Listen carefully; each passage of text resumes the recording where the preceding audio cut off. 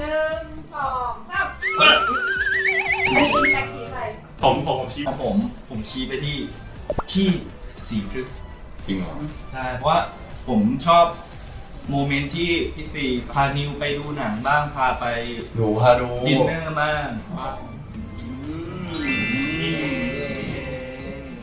แต่เราคิดเองด้วยนะ ใช่ชี้ตัวเองอะยิ้มบ้างไงอะไปยิ้มนะฮะเพราะว่าเรารู้สึกว่า ชอบคำโรแมนติกอะมันฟังแล้วมันรู้สึกแบบยกตัวอย่างหนึ่งคำโรแมนติก การแบบว่าเลี้ยงข้าวก็โรแมนติกแล้ว ไม่ต้องแบบว่าเลือดหรูก็ได้หรือว่าการสบตาก็โรแมนติกแล้วการอยู่ด้วยกันอย่างเงี้ยก็โรแมนติกพูดแค่ไหนเนี่ยหืมงั้นวันนี้พี่ซีจะเรียนเรียนข้าวทุกคนนะครับ เย้ขอบคุณนะครับก็โรแมนติกแล้วใช่พี่ซียังเข้าพวกเรากันนะครับครับชี้เฮียนะครับก็นั่นแหละอย่างที่เฮียกับติวเตอร์พูดนะครับอย่างแบบเฮียก็จะ คอยดูแลเอาใจใส่พาไปนู่นไปนี่เลี้ยงข้าวมีเฮียก็เลี้ยงบ่อยครับดี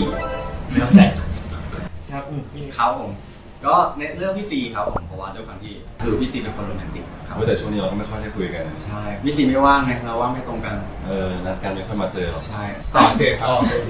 ก็เจมส์